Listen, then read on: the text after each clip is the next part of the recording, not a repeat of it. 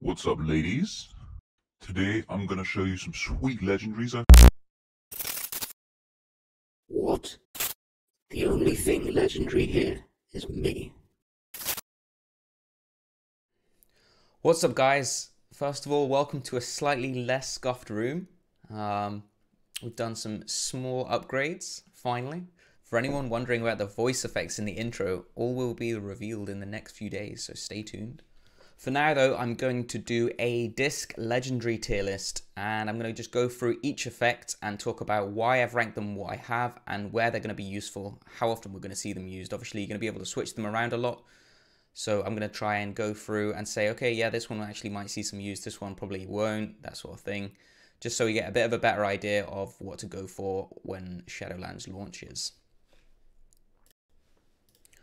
So I'm just going to go down through, and here we've got our disc tier list arena ranking uh, in the usual document. Uh, still got a few more things to add to it and upgrade, as you can see. But we're getting there. Shadowlands a little bit away still, so there's there's time. There's time. Uh, if you do want to check this document out just for reference or to look at it in a little bit more detail, the link for it will be in the description as always. Uh, so without further ado, let's get into it. So first of all, we've got Echo of Eonar. Summon a spiritual familiar to your side. Your spells and abilities have a chance to send your familiar to a nearby ally, increasing their damage and healing by zero. I'm guessing this is going to be a percentage. Um, for 20 seconds, I need to update that. If no allies are present, your familiar will flock towards the nearest enemy, increasing your damage against them by 8% for 15 seconds. Uh, so as a kind of support utility sort of legendary, this is good, I guess. But there are so many other legendaries that have a more direct impact uh, that you can kind of play around, uh, you know, and, and wield to your advantage, if you will. So I've given this a B. Uh, depending on the meta and how much it actually feels like it does, this might increase to an A. For now, I've got it as a B.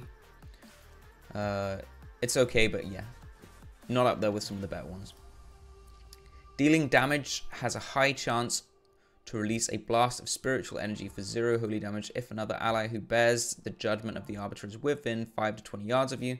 The blast will also arc to them, dealing a bunch of holy damage to all enemies in the arc. So this is sort of reliant on other people having it as well. Uh, but I think that a lot of other classes have a lot of better legendaries than this. I think this is going to be something that you'll potentially see in PvE, but not so much in PvP. I've given this a B as well, although I think this is actually closer to a C, whereas the Echo of Eonar closer to an A. Then we've got Maw Rattle. Killing an enemy has a high chance to summon an explosive Mawrat. I mean, as soon as you see killing an enemy, for, for Arena, you can already say, okay, this is probably not going to be that great. Given this a C, maybe it works when you kill pets, there's not that much value from this in Arena. Norgannon's Sagacity. Casting a spell grants Sagacity, stacking up to 10. So 10 spells gets you 5 seconds of casting while moving, I guess.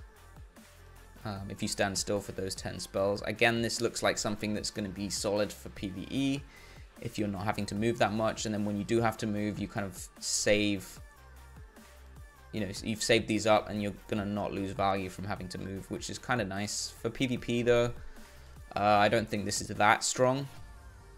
You're already able to move, you know, penance while moving. You have a lot of instances discs, you know, you have shields, you have dots, you have cooldowns that you can use. So I think that this is not that valuable. Generally, you can, you know, use one of these other abilities while moving. The main things you have to stand and cast is Mend and Smite, right? So Value of this is relatively low, I'd say, in PvP. So again, I've given it a B. Then we've got Sephuz's Proclamation. In my opinion, this shouldn't exist, but it does, so we've got to give it a ranking. Uh, reduce the effectiveness of crowd control effects by 10%. I believe this doesn't stack with the Relentless Trinket, uh, but it will work when you're using PvP Trinket. So you can use the PvP Trinket and get 10% Relentless, which is pretty powerful in my opinion. Uh, successfully applying a loss of control effect to, effect to an enemy, interrupting an enemy, or dispelling a target, any target, sorry, will increase all your secondary stats by zero. I'm guessing this is a percentage as well. I need to, edit all these tooltips. Uh, for 15 seconds, this cannot occur more than once every 30 seconds. So, I mean, the dispelling portion is really nice, right? Um, obviously, your offensive and defensive dispelling pretty regularly, so you're going to have it up most of the time uh, for those 15 seconds, every 30 seconds. Uh, I've given this an A just because I think that it's um, dependent on whether or not you're playing Trinket. You're not going to play Trinket all the time. There's going to be some stuff where you play Relentless, then you won't play this, obviously, because they don't stack. Uh, I've given an S to stuff that you can literally use against everything, and it's just always always valuable. Whereas if something is good, I've given it an A, but only if it's good in you know certain sort of situations. Um, so yeah, that's why it's an A. I think you, you'll definitely use this against some stuff. Uh, stable Phantasma Lure. Increases Phantasma earned by 25%. I mean, this is like something to do with Torghast, I think. Uh, this is nothing to do with Arena. I've given it a C. C is my bottom rank. It's, it's useless, essentially. Uh, killing a creature in the Maw increases another C. The first time you damage an elite enemy, another C. So these are all just completely useless for Arena. It's fine. Then as we go down, there are four different kinds of legendary, uh, yeah, of legendary effects for Priest. This is for all of Priests, regardless of spec. Then you have four Disc, four Holy, and four Shadow.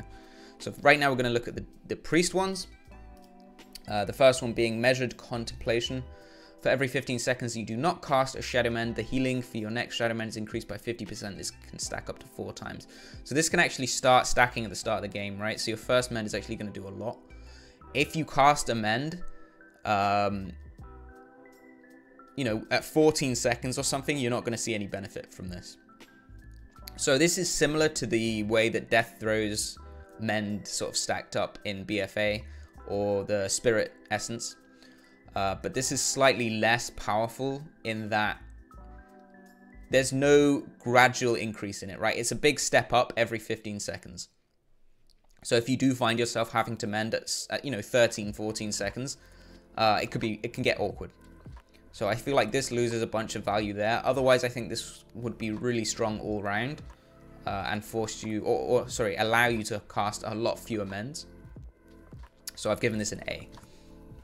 Then we've got Twins of the Sun Priestess. Power Infusion also grants you 100% of its effect when used on an ally. And there's actually a conduit that reduces the cooldown of Power Infusion. So I think if you're playing something like RMP, this could be really strong to obviously use on your mage uh, to get it yourself as well. So you're doing a go, you pop PI on your mage, you get it on yourself, you're CCing everything. Uh, there's low chance for it to get purged, and you, you know you can do really good pump on a go with that extra uh, that extra haste. So I've given this an A. I think this definitely has opportunities to be used. Uh, keep in mind you can also use this in other comps versus stuff that doesn't purge because it's haste, right? It doesn't have to be used on a caster, it can be used on anything. Uh, everyone will benefit from that haste. When Shadow Word: Pain expires on a target, three allies within 30 yards of a target are healed for 50% of spell power. So I've actually given this a B. I don't think you're going to see that much value from this. Uh, the healing of it is relatively low. Um, and generally you don't really want to let your, your Purge the Wicked expire. Like you want to try and refresh it like right at the end. Uh, so I, th I think it's not something that you're going to see a lot of use out of in Arena.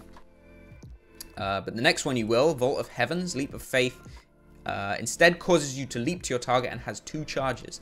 So this actually solves an issue for Disc against Cleave, whereby you generally don't have any mobility. Uh, you have, you know, Shield, uh, which gives you a little bit of speed with Body and Soul, or Feather if you're running it, but that's it.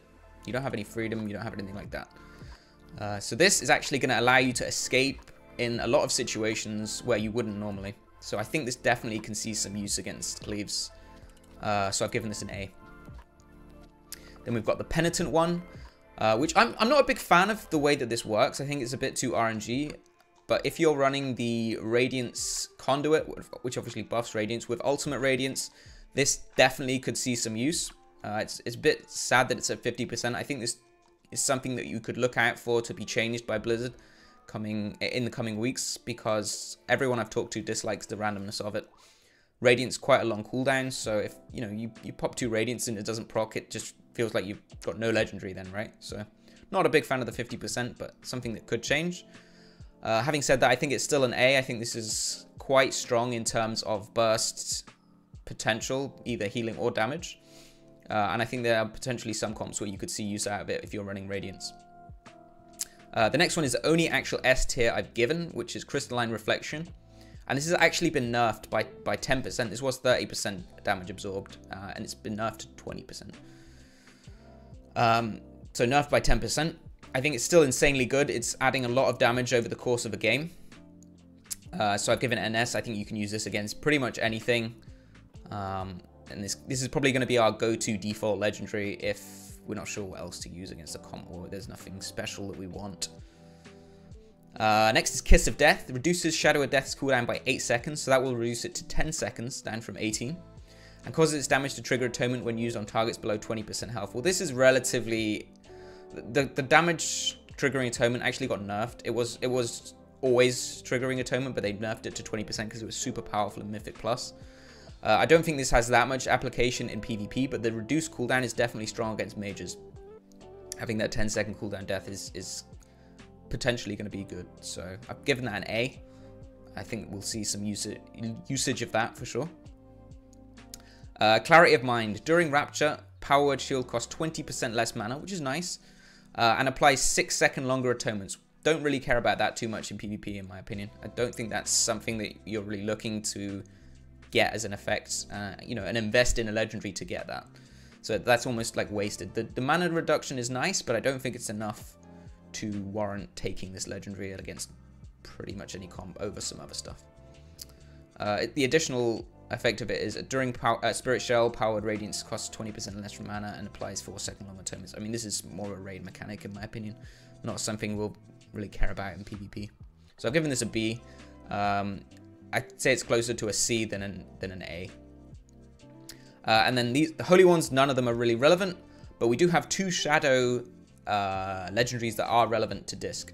And we have Painbreaker Psalm, which Shadow Word: Death consumes 6 seconds of Shadow Word: Pain, and Vampiric Touch, well, that's not that part's not relevant, the Shadow Word: Pain is. Instantly dealing that damage to the target and generating 10 sanity. So what it does is essentially makes your deaths really strong. But in my opinion, it's potentially better to just run the death cooldown one. If you want to get damage out of death, maybe just run the death cooldown one if you're not worried about stopping CC with it, and then just use it on cooldown for damage. I think that potentially could be, you know, a better pick, given this a B as well. Not that strong for disc. Uh, and then we have Shadow Flame Prism, and this actually got nerfed twice, I believe, recently on beta. Uh, this was S tier. This was an insanely good legendary in terms of burst. Uh, and just mana as well. You could run Mindbender with this, and you could get actually two Mind Blasts off and a death during the Mindbender, and increase it by 4.5 seconds, which is you know an extra two free hits. Uh, especially if you're running the Mindbender conduit, which increases the the haste of, of the Mindbender. But what this did is made the Mindbender do like about 4k damage uh, when you did like a Mind Blast death, like extra 2k for each one something like that. And this has actually been nerfed by a considerable amount now. I'd say this is almost a B. Haven't had a chance to test it um, recently, but I'm going to give it a go next time I'm on beta. And if it is as bad as I fear, I'm going to move it down to a B. I don't think this is going to get that much use anymore. If it's not too bad and still has burst application, then I think there's definitely some comps where you could use it. Um, but right now, the nerfs have really hurt it for discs, so potentially not, not a worth anymore. So yeah, to summarize, best picks, I would say Crystalline Refle Reflection is your like your go-to right now. Kiss of Death, useful against mages, maybe warlocks. Penitent 1, decent, but, you know, when you take Radiance, but maybe a bit too much RNG in it. Leap of Faith, really good against Cleaves. Power Infusion, good if there's no Purge, or if you're playing RMP, something like that. Uh, and Measured Contemplation may be good when you need to do Burst Healing. Not too sure what comps you're going to run this against yet over the other ones. The 15 second kind of caveat of it sort of pushes it down a bunch and I'd say this is actually quite close to a B. Um, so yeah, that's uh, that's pretty much all of them. Ah, yeah, and Sephuz's Proclamation, obviously decent if you don't need any of the other ones and if you're running PvP Trinket and you want to, you know, avoid some more CC against really heavy CC comps, I think that could definitely be uh, something that's something that's worth using. So that's it for the legendaries video. Uh, if there's anything that you think I've missed or gotten wrong, or overlooked, please do let me know in the comments. I obviously have been testing a bunch of stuff on beta, but there's definitely stuff that I haven't kind of figured out yet. So if anyone has figured anything out, please let us know. You know, we're trying to just share as much info as we can with the priest community here and just get stronger together. So would be much appreciated. If not, uh, thank you very much for watching. Have a good one.